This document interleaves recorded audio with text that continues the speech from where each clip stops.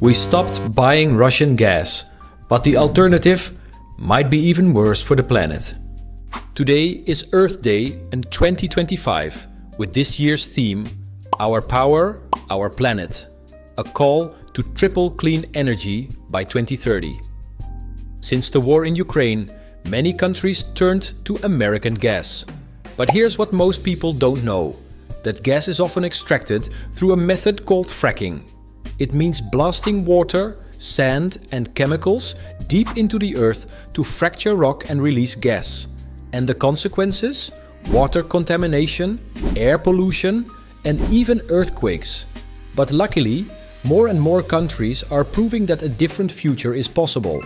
The United States, for example, is producing more solar power than ever before. China leads the world in renewables, and Denmark gets over half its electricity from wind.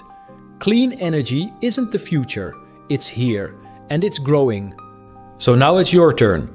Are we choosing real progress or just a different kind of destruction? Let us know in the comments how you see the future of energy. And check out earthday.org for more.